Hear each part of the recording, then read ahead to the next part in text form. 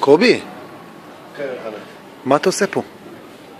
אני רוצה, הקריאה הזאת מופנית לבנט ולמרזל וחבר מירב, כל הרשעים האלה, והג'ינג'י הזה, שמתסיס את כל הבלגן, לבוא ולראות מה כתוב פה. איך בוא תתקרב לפה בבקשה עם המצלמה. הודעה ואזהרה.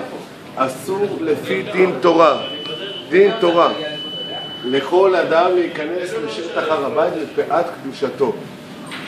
חתומים הרבנות הראשית לישראל.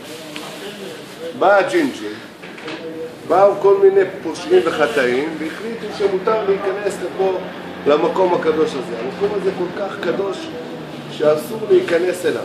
זה הלכה, זה התורה. באו כל המזרוחניקים, הכיפות הסרוגות, אני לא אגיד כולם, לא רוצה. צודק. בית של גויים הרב אמר עליהם. כבר. לא סתם הרב אמר עליהם בית של גויים. שהמקום הזה כל אחד יכול להיכנס. אז אני פונה אליכם, רשעים ארורים, תפסיקו לבוא למקום הזה. אתה חושב שזה ב- תבואו בגלל... לכותל, תתפללו. אתה חושב שבגללם יש את כל המהומות?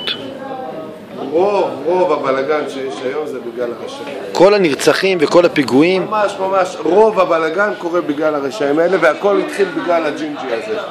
אז אני פונה אליהם, באמת, בקריאה, אתה יודע, יש דין שמיים, יכול להיות שיקבלו מכה שאחריתו מאישורנו. לכן יפה שעה אחת קודם, כתוב מפורש, הנה, אסור להיכנס לפי דין תורה. דין תורה.